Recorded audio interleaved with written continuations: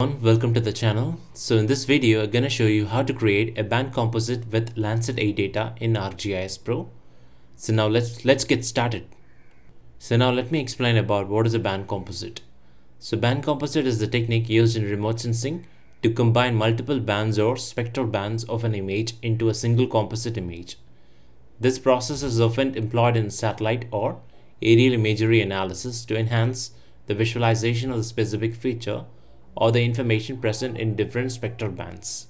So creating a band composite involves selecting and combining bands to generate a new image that highlights certain characteristics. So for example, the true color composite. So the red band, the combination of red band, green band and blue band gives us a true color composite. And similarly, the false color composite, the combination of infrared, red band and green band gives us a false color composite. Now let me show you the official website where you can download your Landsat 8 data. So open your browser. So in the search section enter as USGS Earth Explorer. So now enter search. So click the first result called USGS Earth Explorer.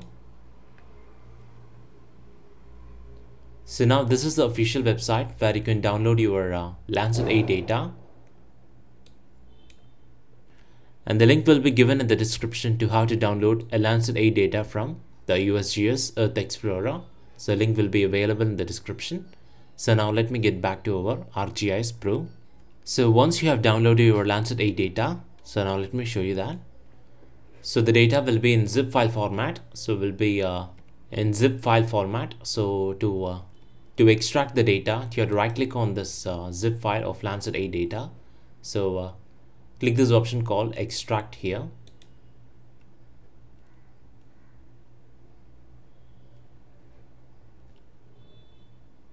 So it is extracting our Landsat 8 data from our zip file.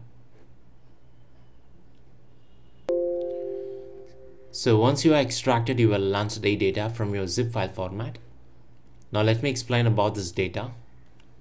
So the Landsat 8 data has uh, 11 bands starting from the band 1 to band 9. So band 1 here represents our coastal aerosol band and with a 30 meter resolution. And band 2 is blue and with a 30 meter resolution.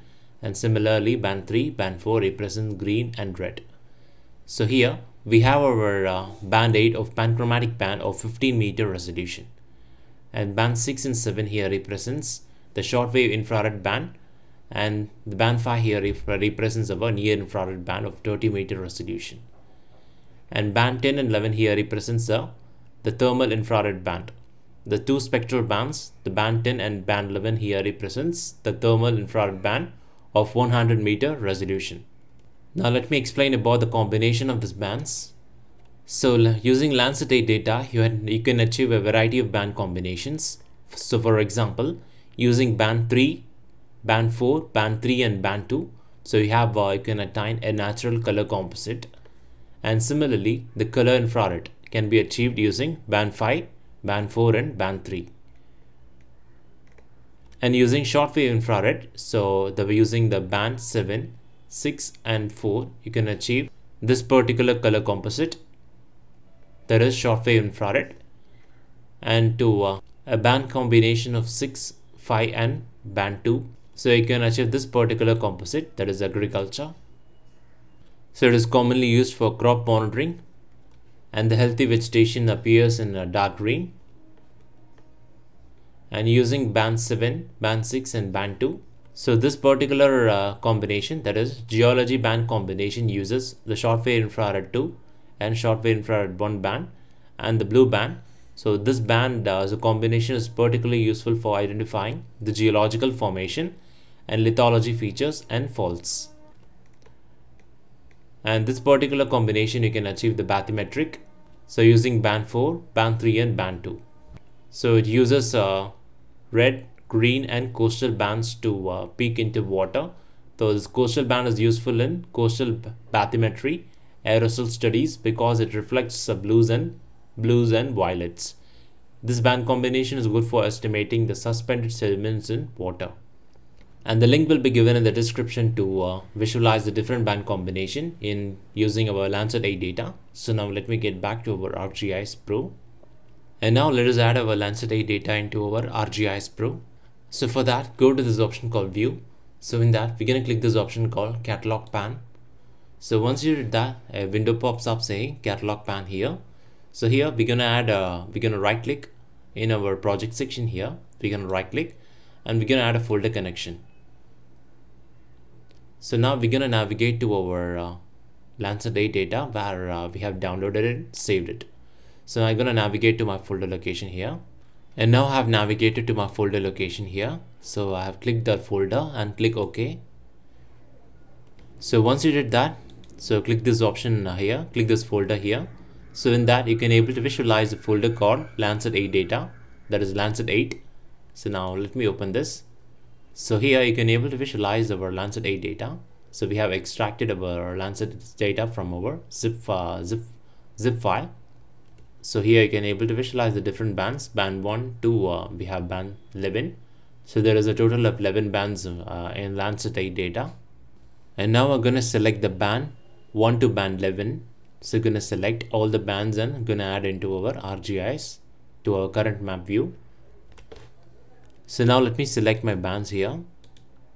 Gonna select all these bands starting from band 1 to band 11 and right click. So click this option called add to the current map. So it is performing the statistics here. And now it is adding our data.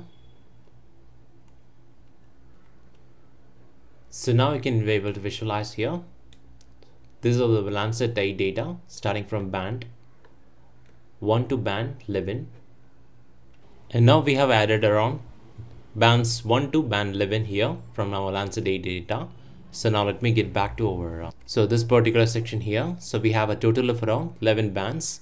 So band 1 is of 30 meter. So 2 is 30 and uh, 3 is of 30, 4 is 30 so uh, we're going to add our 30 meter resolution bands together. That is, we're going to band composite all the 30 meter resolutions together.